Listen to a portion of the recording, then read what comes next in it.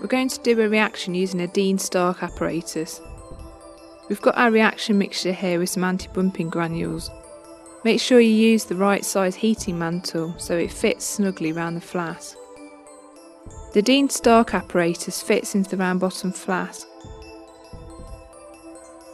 This is insulated with glass wool and aluminium foil. A reflux condenser is attached to the top of the Dean Stark apparatus. The water is going in at the bottom and out at the top. You can see that we've put clips on the tubing.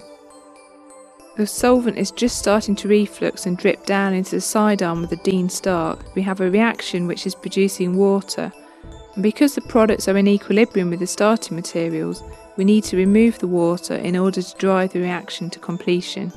We're using a solvent which forms an azeotrope with water. Toluene is a very good solvent for that purpose. As the azeotrope condenses and drips into the side arm, the water separates and falls to the bottom, and the less dense solvent stays at the top. Once the side arm is full, the solvent will overflow back into the reaction flask.